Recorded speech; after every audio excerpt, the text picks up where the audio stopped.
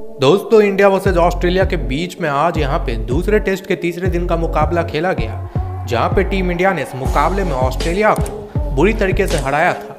हालाँकि मैच के बीच एक ऐसा मूवमेंट आया जिसे देख के पूरे फैंस और जितने भी वहाँ खिलाड़ी थे, काफ़ी ज़्यादा हैरान रह गए।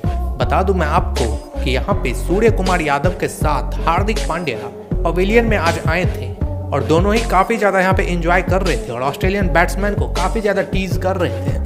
क्योंकि जब रविंद्र जडेजा ने एक तरह से सबकी विकेट यहाँ लेना शुरू कर दिया तो हर बॉल पे यहाँ पे कुछ एक्शन करते हुए यहाँ पे सूर्य कुमार यादव और हार्दिक पांड्या देखने को मिल रहे थे, जिसके बाद फैंस भी देख के काफ़ी यहाँ पे खुशी से झूम उठे।